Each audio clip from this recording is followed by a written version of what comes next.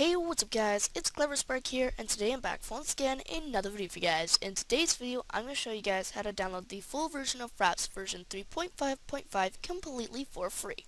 Stay tuned.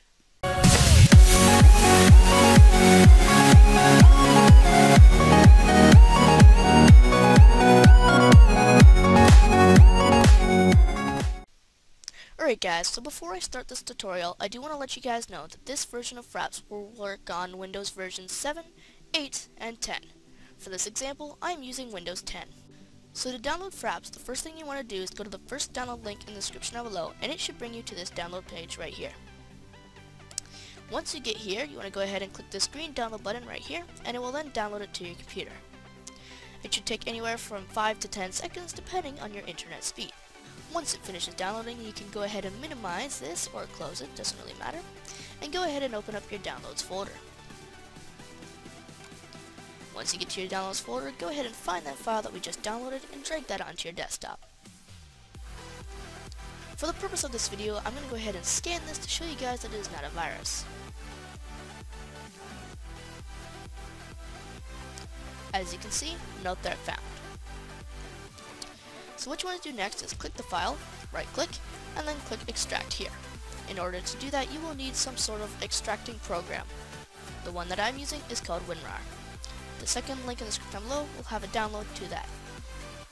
Alright, so once you get this folder extracted, you can go ahead and delete this one, put that into your recycle bin, and then that's good. Once you have just this folder, go ahead and double click it, and you'll see two files in here. What you want to do is click the first one, double click it, and something will pop up. Click yes, and this will pop up. Once this pops up, go ahead and click I agree, click next, and install. It should take anywhere from 2 to 5 seconds depending on your computer speed. Once it says completed here and here, go ahead and click close. To prove to you guys that this is the full version of Fraps, I'm going to go ahead and open it up and show it to you guys.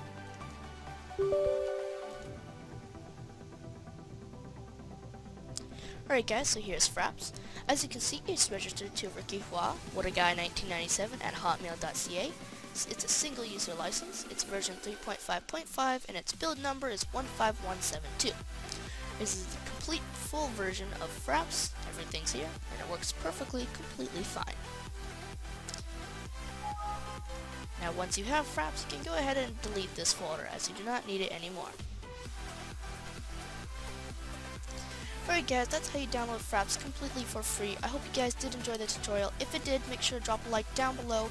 Comment if you have any issues because I will try to answer any of your questions. And make sure to subscribe for more daily content on Minecraft videos, tutorials, and way more awesome stuff. Anyways, I'll see you guys in the next video. Peace out.